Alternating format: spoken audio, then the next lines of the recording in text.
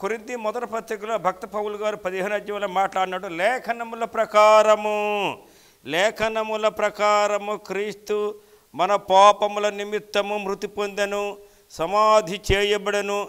లేఖనముల ప్రకారం మూడవ దినమున లేపబడెను. లేఖనములు ఈ పునరుద్ధానానికి ఎంత రుజువుగా ఉన్నవో.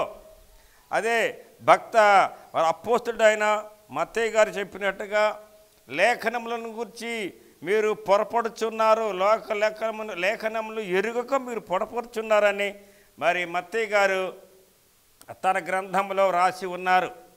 కనుక ఈ రోజుల్లో లేఖనాలు ఎంత అవసరమో మనం ఎరిగిన వారమై ఉండాలి. లేఖనముల ప్రకారం ప్రభు యొక్క శిలువ మరణ పునరుద్ధానములు మనం నమ్మగలమని బైబిల్ గ్రంథము మనతో మాట్లాడుతూ ఉంది. కనుక యశ గ్రంథం యాభై మూడవ అధ్యాయం పదహా పదవ వచనంలో మనము చూసినట్లయితే అతడు పొందిన దెబ్బల చేత మనకు స్వస్థత తర్వాత అతడు దీర్ఘాయుష్మంతుడగును.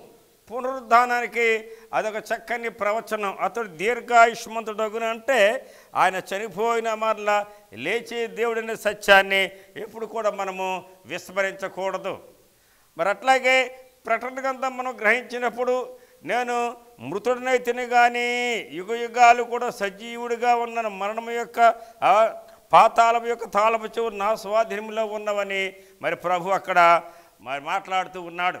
కనుక పునరుద్ధానము లేకపోతే మన విశ్వాసము కూడా వ్యర్థమని భక్త పౌలు గారు మరొకసారి మాట్లాడుతూ ఉన్నారు. పునరుద్ధానం ఈ జీవిత కాలము మట్టుకే మనము క్రీస్తును నిరీక్షించిన వారమైన ఎడల మనుషులందరికంటే దౌర్భాగ్యులమై ఉందము. మనకు వేరే జీవితం ఉంది పరలోక రాజ్యం. అందులో నీవు నేను మనమందరం కూడా ప్రభుతో కూడా పరలోక రాజ్యములో నివాసం చేస్తామని బైబిల్ గ్రంథము మాట్లాడుతూ ఉంది. తర్వాత దాని క్రింద భాగం చూసుకుంటే ఇప్పుడైతే నిద్రించిన వారిలో ప్రథమ ఫలముగా క్రీస్తు మృతులలో నుండి లేపబడి ఉన్నాడు. కనుక ఈ ప్రపంచంలో ఎంతమందో ఎంతమందో చనిపోయారు కానీ ఎవరు కూడా లెగవలేదు. ఎందుకంటే వారందరూ కూడా మనుష్యులే. గాంధీ మహాత్ముని చూసుకుందాం. ఆయన మహాత్మా గాంధీ అని భారతదేశం అంతా కొనియాడుతూ ఉంది. కానీ ఆయన చనిపోయాడు లెగవల. మరి బాబా అంబేద్కర్ని గూర్చి అబ్బో ఎంతో రాజ్యాంగం రాశాడని ఎంతో చెబుతూ ఉంటారు గొప్పలు చరిత్రలో పుస్తకాల్లో. కానీ ఆయన కూడా కొంతకాలంకి చనిపోయి లెగవల. అట్లాగే మరి తర్వాత మరి దేవుడిగా పిలువబడి చాలా కాలం ఆరాధించబడిన సత్యసాయి బాబా కూడా లేస్తా లేస్తా లేస్తా అని చెప్పాడు. చనిపోయాడు కానీ ఆయన కూడా లెగవల. ఆ రీతిగా చెప్పుకుంటే ఒక్క ప్రభు అయిన యేసుక్రీస్తుకే సాధ్యం. మరణాన్ని జయించగల మహాశక్తి గల దేవుడు ఆయన ఒక్కడే. కనుక ఆయనే మన దేవుడు ఆయనే మన రక్షకుడు ఆయనే మన పోషకుడు మన సకలానికి ఆధారభూతుడిన సత్యాన్ని ఎప్పుడు కూడా మనము మర్చిపోకూడదు. కనుక ఈ ఈ సమయంలో పున్ మరి ఆ ఒక ఒక భాగాన్ని చూసుకుందాం. ప్రభువు పునరుద్ధాన బలముతో లేచిన తర్వాత శిష్ శిష్య బృందం అంతా యూదులకు భయపడి అచ్చమైన దేవుడినే వాళ్ళు చంపేశారు కనుక మనుషులమైన మమ్మల్ని ఇంకా ఉంచుతారా అని భయపడిపోయి శిష్యు బృందము ఆ పది మంది శిష్యులు కూడా మేడగదిలో దూరి తలుపులు వేసుకొని కిటికీలు వేసుకొని కామ్గా సౌండ్ కూడా రాకుండా మేడగదిలో ఉన్నారు. అయ్యో దేవా మరి మేమే మిమ్మల్ని నమ్ముకున్నాం తండ్రి. ఇప్పుడు మేము దిక్కులేని వాళ్ళం అయిపోయాం. మీరేమో చనిపోయారు ఇప్పుడు మా గతి ఏం కాను తండ్రి అని ఎంతో వేదన పడుతూ మదన పడుతూ ఆ గదిలో మేడ గదిలో శిష్య బృందము ఉన్నది. అయితే వారి బాధ ఎరిగిన దేవుడు వారి ఇబ్బందులు ఎరిగిన దేవుడు వారి కష్టము సమస్యలు ఎరిగిన దేవుడు తానే లోపలికి వచ్చి మీకు సమాధానము కలుగునుగా కాని శిష్య బృందంకి కనిపించి మాట్లాడాడు దేవునికి స్తోత్రం. ఎంత గొప్ప దేవుడు. కనుక తన శిష్య బృందానికి తన గాయాలు చూపించాడు ఆయన సజీవుడిగా నిరూపించుకున్నాడు దేవుడు. కనుక శిష్య బృందంలో ఉన్న వేదన తొలగించిన దేవుడు మనలో ఉన్న వేదన మనలో ఉన్న బాధలు మనలో ఉన్న సమస్య తొలగించి ప్రేమగల దేవుడిగా నిజదేవుడిగా లోకరక్షణగా నిరూపించుకొని మనల్ని ఆశీర్వదించే దేవుడైన సత్యాన్ని ఎప్పుడు కూడా మనము మర్చిపోకూడదు. కనుక ప్రియులారా ఆ రీతిగా మనము చెప్పుకుంటే మరణ పునరుద్ధానములు ఆయన స్వాధీనంలో ఉన్నాయి. మరి ఇంకో చోట చక్కగా వ్రాయబడి ఉన్నది ఎవడను నా ప్రాణము తీయడు. ఆ ప్రాణం పెట్టుటకు నా తీసుకున్నటకు కూడా నాకు అధికారము కలదు. నా తండ్రి వాళ్ళని ఈ అధికారం నేను పొంది ఉన్నానని ప్రభు ఇంకో చోట మాట్లాడుతూ ఉన్నాడు. కనుక ఆయనే అచ్చమైన దేవుడు ఆయనే స్వచ్ఛమైన దేవుడు ఆయనే నిజమైన దేవుడు ఆయనే జీవము గల దేవుడు. అపవాదైతే ప్రభు చనిపోయిన తర్వాత ఆ సమాధి మీద కూర్చొని యేసుప్రభ నీ గొప్ప దేవుడు అన్నవే. నన్ను ఆ మరి మూడు సార్లు నన్ను ఓడించావు. మొదటిసారి రాళ్ళు రొట్టెలు చేసుకోమంటే అప్పుడు నన్ను ఓడించావు. తర్వాత మేడకి తర్వాత దేవాలయం చక్రం తీసుకెళ్ళి దూకమంటే దూకలేదు. కనుక అలా ఆ రీతిగా దేవుడు దాన్ని ఓడించాడు. ఇప్పుడైతే ప్రభా నీ పని అయిపోయింది. ఇక నువ్వు ఆ సమాధిలో కుళ్ళిపోవలసిందే. అని ఎంతో గర్వించింది అపవాది. అయితే పరమ తండ్రి చెప్పినట్టుగా మూడవ రోజు తెల్లవారుజాము ఎప్పుడైతే వచ్చిందో ఆదివారం తెల్లవారుజామున గాబ్రియల్ దూత వచ్చేపటికి దూత ఈ సైతాన్ని ఏమైపోయిందో ఈ కాపలా ఉన్న వాళ్ళు ఏమైపోయారు? రాయి ఆ దూత వెలుగు రాయి దానికదే ఆ మూత దొర్లించబడి ఉంది. కనుక ఆయన పునరుద్ధానాన్ని ఏ పిలా దాని పిలాతి యొక్క ముద్ర ఆపలేదు. దాని చుట్టూ ఏమండి? కాపలా ఉన్న రాణు వారు కూడా ఆపలేకపోయారు. అంత శక్తిగల దేవుడు మనము త పరమ తండ్రి ప్రభు అయిన యేసుక్రీస్తు. కనుక ప్రియులారా ఈ సమయంలో మరి నీ మీరు నేను మనము పునరుద్ధాన ప్రభువుని కలిగి జీవించటం మనకెంతో ఆశీర్వాదం మనకెంతో ఆనందం. శిష్యు బృందం పోగొట్టుకు ఎంత మదన పడినట్టుగా కొన్ని సందర్భాల్లో మనం కూడా అట్టగా మదన పడుతూ ఉంటాం. దేవుడు నా ప్రార్థన వినలేదేమో నాకు ఇబ్బందులు ఏంటో నాకు ఈ సమస్యలు ఏంటో ఎంతో మదన పడుతూ ఉంటాం. అయితే కనికరం గల దేవుడు ఆయన కృప కనికరం చేత మన అవసరాలు తీర్చడాకే ఆయన సజీవంగా లేచి మనలో మన అవసరాలు తీర్చుకుంటూ నిజదేవుడిగా ప్రేమగల దేవుడిగా ఆయన నిరూపించుకుంటూ ఉంటాడు. ఇస్రాయేల్ కా పాత నిబంధన కాలంలో ఇస్రాయేల్ని ఆదుకున్న దేవుడే ఆయనే. ఈ క్రొత్త నిబంధనలో ప్రభుని యేసుక్రీస్తు ద్వారా సమస్తం మనకు మరుగే ఉండకుండా తేటగా దేవుడు బయలుపరిచి మనల్ని నడిపించుకుంటూ వెళుతూ ఉన్న సత్యాన్ని ఎప్పుడు కూడా మనము మర్చిపోకూడదు. కనుక ఇంకొక వాక్యాన్ని కూడా మనము చూసుకుందాం. ఇక్కడ పరిశుద్ధ పౌలు గారు మాట్లాడిన రీతిగా మరియు క్రీస్తు లేపబడి ఉండని ఎడల మేము చేయు ప్రకటన వ్యర్థమే. మీ విశ్వాసం కూడా వ్యర్థమే. పౌలు గారు తన సువార్త వ్యర్థమైపోతుంది అంటున్నాడు ఆయన లేపబడకపోతే ఆయన సజీవంగా లేచే దేవుడు కనుక పరిశుద్ధ పౌలు గారు క్రైస్తవ సంఘాన్ని హింసించి ద్వేషించి చిత్రహింసలు పెట్టి చెరసాల్లో వేసి ఎంతో ఇబ్బందులు గురి చేసిన ఈ పరిశుద్ధ పౌ సౌలు పౌలుగా మార్చబడలేదు. ఈ సవులు సన్హెడ్రిన్ సభాధ్యక్షుడు. అందులో మెంబర్ కాబట్టి పత్రికలు తీసుకొని దమస్కు వెళుతూ ఉంటే దమస్కు మార్గంలో ఇంకా లోపల కూడా ప్రవేశించలేదు. దేవుడు ఆయన్ని సంధించాడు. వెంటనే ఆ వెలుగు వెలుగులో స్వరం సౌలా సౌలా నన్ను ఎందుకు హింసించున్నాను ప్రభు మాట్లాడినప్పుడు వెంటనే పడిపోయాడు గుర్రాల మీద నుండి. ఆ రీతిగా సౌలును దేవుడు సంధించి గొప్ప పాత్రగా పనిముట్టుగా వాడుకున్నాడు. కనుక బైబిల్ గ్రంథంలో నాకు వేరుగా ఉండి మీరేమి చేయలేరు. ఈ ప్రపంచంలో ఎవరు దేవునితో పోరాడలేరు పోరాడి గెలవలేరు. నేనే సకల నేనే స్వయంభవుడిని అన్నాడు దేవుడు. తనకు తానుగా కలిగినవాడు. ఎవరు ఆయనకి కలిగి ఎవరు ఆయనకి తయారు చేయలా తనకు తానుగా కలిగినవాడు. అంత గొప్ప దేవుని బిడ్డలం మనందరం సార్వత్రిక సంఘం అనే సత్యాన్ని ఎప్పుడు కూడా మనము మర్చిపోకూడదు. కనుక ఈ ఈ సమయంలో పౌలు గారు చెప్పిన మాట ఇంకొకటిని కూడా జ్ఞాపకం చేసుకుందాం. మేమును దేవుని విషయమే అబద్ధపు సాక్షులముగా అగపడుచున్నాము. దేవుని విషయంలో అబద్ధపు సాక్షులముగా అంటే పౌలు గారు అచ్చమైన సువార్త స్వచ్ఛమైన సువార్త ప్రకటించి ప్రభు నామాన్ని గొప్ప చేసినాడు సత్యాన్ని మనము మర్చిపోకూడదు. కనుక ఈ సమయంలో పునరుద్ధాన ప్రభువు నీ దేవుడు నా దేవుడు సకలానికి ఆధారభూతుడు. మనం ఈ రీతిగా సజీవంగా ఉన్నామంటే దేవుడు మనకి చక్కని కాళ్ళు ఇచ్చాడు చక్కని చేతులు ఇచ్చాడు చక్కని కళ్ళు ఇచ్చాడు ఇంకా అట్లాగే మనం ఆరోగ్యంగా ఉండటానికి దేవుడు ఒక గుండెను అమర్చాడు అట్లాగే ఒక రెండు కిడ్నీలు అమర్చాడు. ఇవన్నీ కూడా దేవుని కార్యాలే. కార్యాలు ఎరిగిన వారమైన మనం మనం దేవుడు సకలం అన్నిటినీ అమర్చి మనం సజీవులుగా ఉంచే ఆయన పనిలో వాడుకుంటున్న దేవుడు గొప్పవాడైన సత్యాన్ని ఎప్పుడు కూడా మనము మర్చిపోకూడదు. కనుక దేవుని బిడ్డలారా మరి దేవుడు ఆయన గొప్పతనాన్ని తన నామ ప్రభావాన్ని తన గ్రంథం ద్వారా మనకు చూపించి ఆశీర్వదించి ఆయన మరి మహిమ పొందే దేవుడైన సత్యాన్ని ఎప్పుడు కూడా మనము మర్చిపోకూడదు. ఇంకొక వాక్యాన్ని కూడా అయితే మృతుడు అలాగు లేతురు? కాబట్టి వారెట్టి శరీరముతో వత్తురని ఒకడు అడుగును ఓ అవ్వేకి నీ విత్తినది చచ్చితేనే కానీ బ్రతికింపబడదు కదా కనుక ఆ రీతిగా మరి పౌలు గారు మాట్లాడినట్టుగా మన శరీరం ఎప్పుడైతే చనిపోతూ ఉందో ఈ శరీర కార్యాలు ఎప్పుడైతే చనిపోతాయో ఆత్మీయంగా మనము బలపడతాం ఆత్మీయంగా బ్రతుకుతాం ఆత్మీయంగా అభివృద్ధిలోకి వెళతాం.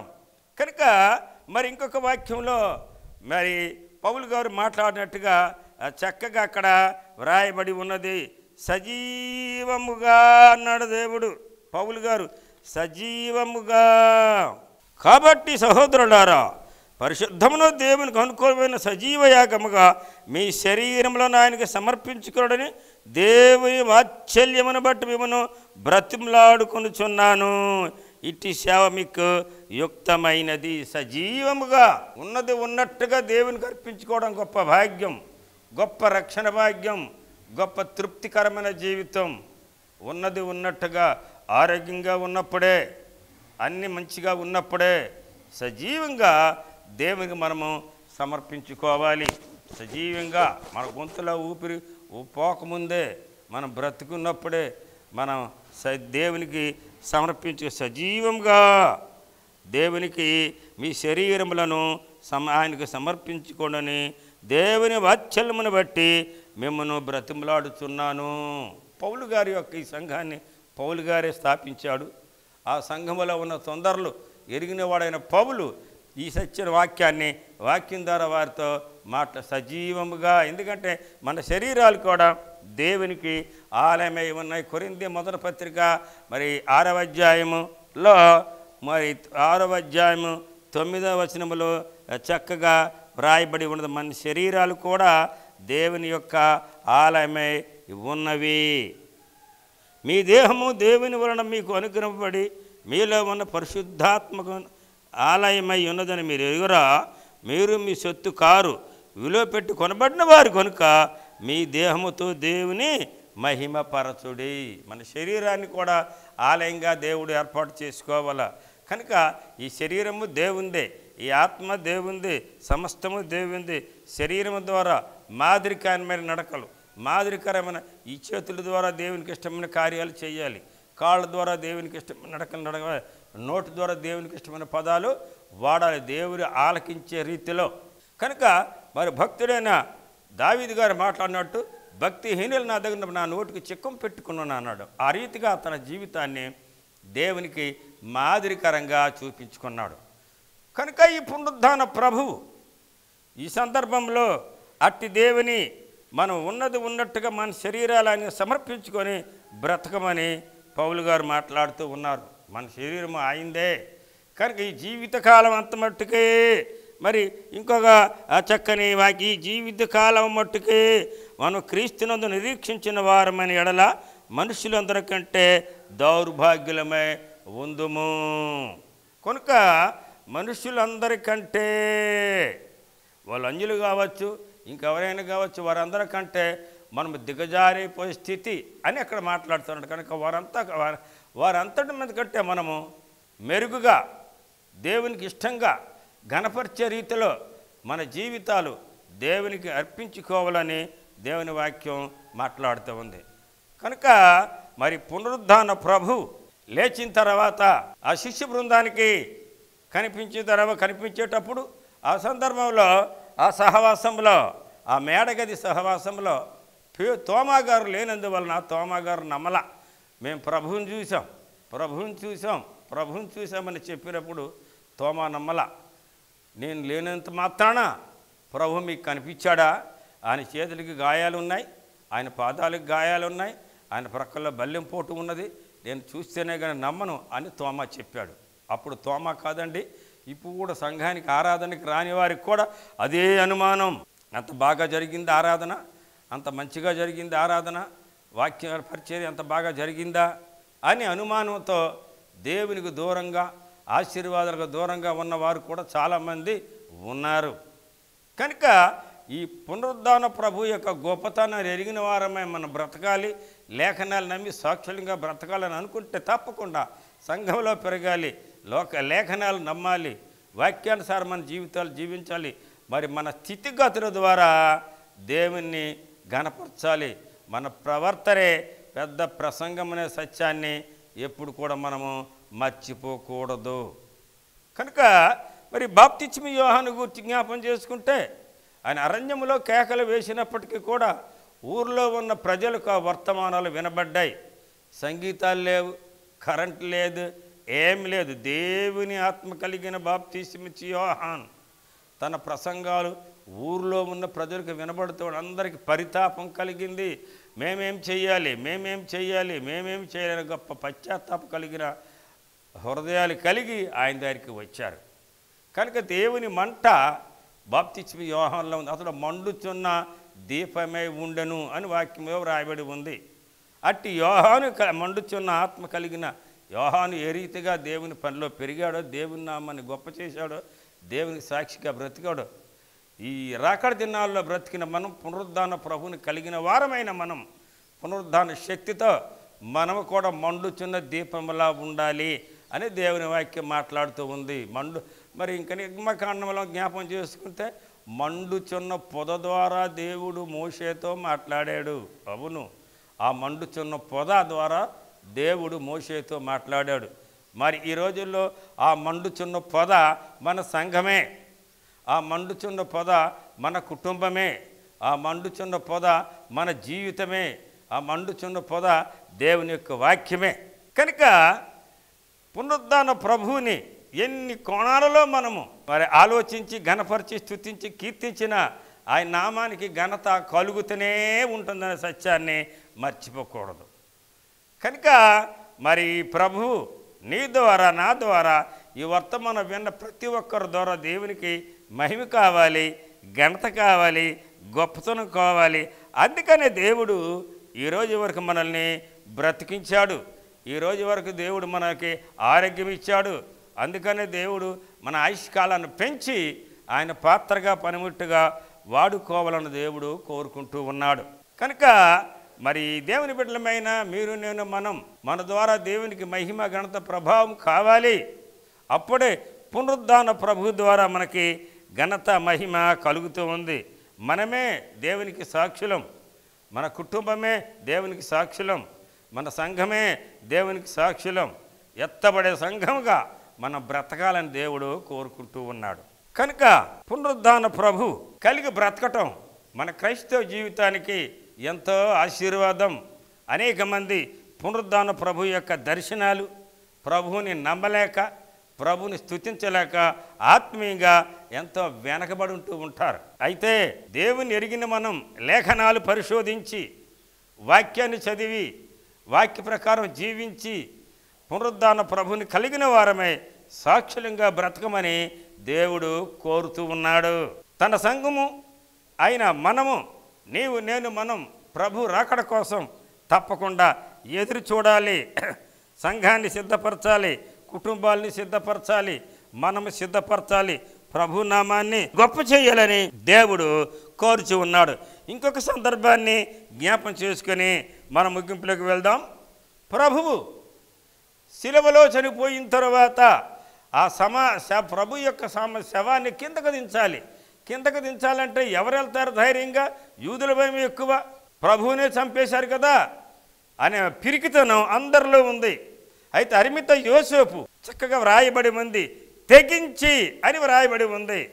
ఏది అయితేనేమి ఏమి జరిగితే జరిగింది అని పిలాత్ దగ్గరికి వెళ్ళి పిలాత్ దగ్గరికి వెళ్ళి ప్రభు యొక్క దేహాన్ని నాకు ఇమ్మని పిలాతుని అడగగల ధైర్యవంతుడు ఆయన గొప్ప ధనవంతుడు సన్నిహిత సభ మెంబర్ అయినా ధైర్యంగా వీళ్ళు అడిగితే ఈయన గొప్పతనాన్ని ఎరిగిన పిలాతో ఆ శవాన్ని దింపుకోవడానికి మరి ఆ అరిమిత దే అవకాశం కల్పించాడు పిలాతో.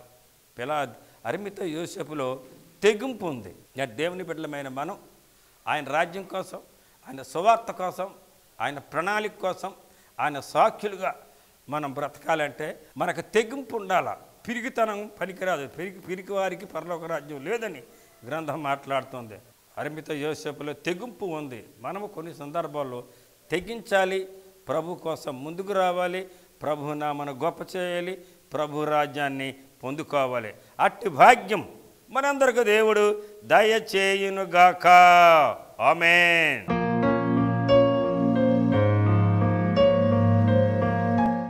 ప్రేమించిన మా కన్న తండ్రి పునరుద్ధాన ప్రభును గూర్చి ధ్యానం చేసుకునే భాగ్యం మీరు మాకు ఇచ్చారు తండ్రి.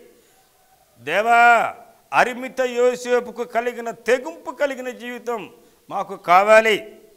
మగ్ధులనే మరికి కలిగిన ఆ గొప్ప విశ్వాస జీవితం. తండ్రి మగ్ధులనే మరి కూడా తెగింపుతో ధైర్యంతో చీకటి చీకటిగా ఉన్నప్పుడే సమాధి దగ్గరికి పరుగు పరుగున వచ్చింది ప్రభా. తండ్రి మరి ఈ రోజుల్లో ఆ తెగింపు లేదు ఆ ధైర్యం లేదు నాయన.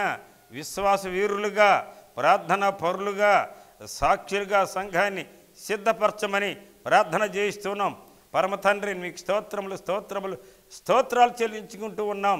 కృపగల మా తండ్రి భక్త పౌలు గారు చెప్పినట్టు తండ్రి మరి లేఖనముల ప్రకారం క్రీస్తు చనిపోయి లేఖనాల ప్రకారం మూడవ రోజులు లేచి ఉన్నాడని పౌలు గారు మాట్లాడుతూ అవును ప్రభ లేఖనాలు ఎదిగిన వారమే బ్రతకమని మరి పరిశుద్ధ మత్తయ్యగా తన సువార్తలో వ్రాశాడు. ఈ రోజుల్లో లేఖనాలు తెలవక లేఖనాలు చదవక దాంట్లో ఉన్న సత్యాన్ని గ్రహించక తండ్రి మీ యొక్క శక్తిని భక్తిని ఎరిగిన వారమే జీవిస్తూ ఉన్నారు ప్రభా. ఆత్మీయ గుడ్డుతనం తొలగించమని అడుగుచూ ఉన్నాం. పరమ తండ్రి మీకు స్తోత్రములు స్తోత్రములు స్తోత్రములు మా శరీరాలు కూడా మీకు నాయన. మీకు అవి కూడా ఆలయమే కనుక మీ దేహముతో దేవుని ఘనపరచమని మాట్లాడుతున్నాం. ఈ దేహాలు మీవి. మా ఆత్మీయ జీవితం మీది. మేమంతా మీ సొత్తు మీ స్వాధీనమే ప్రభా. మీరు మా కాళ్ళు ఇచ్చినందుకు మంచిగా నడిచే కృపదాయిచ్చే చేతులు ఇచ్చినందుకు మంచి పనులు చేసే కృపదాయిచ్చే నోరు ఇచ్చినందుకు పరిశుద్ధమైన మాటలు మాట్లాడే కృపదాయిచ్చే కళ్ళు ఇచ్చినందుకు నాయన దేవా సా మరి సత్యాన్ని మంచిగా నాయన మరి ఆ అన్నిటిని నీతి గలవి చూసి మీ నామాన గొప్ప చేసే కృపదా ఇచ్చేయి. పరమ తండ్రి స్తోత్రములు. ఈ చివరి దినాల్లో తండ్రి మా ద్వారా ప్రియ సంఘము ద్వారా మహిమ ఘనత ప్రభావం పొంది పరలోక రాజ్య పౌరులుగా మమ్మల్ని అతను సిద్ధం చేయమని యేసు శ్రేష్టమైన నామలో అడుగుచూ ఉన్నాము తండ్రి. ఆమేన్.